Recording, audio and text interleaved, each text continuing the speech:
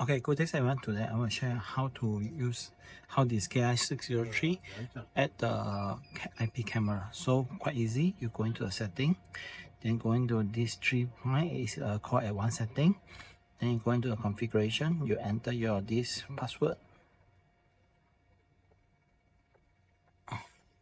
Then you go to the this device management and go to the so they have a button over here. You just key in your camera Put your camera, you just put your camera name, okay, and your camera IP address, but make sure he's running under H.264.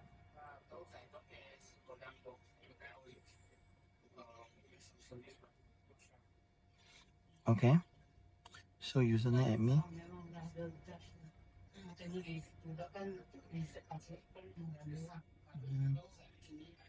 And also the password okay so it's done already. Then back over here. So the setting is on the bottom here. So you just go into the back. You go into live view. This is outdoor station and this is a camera. So now you can see your camera already. Okay?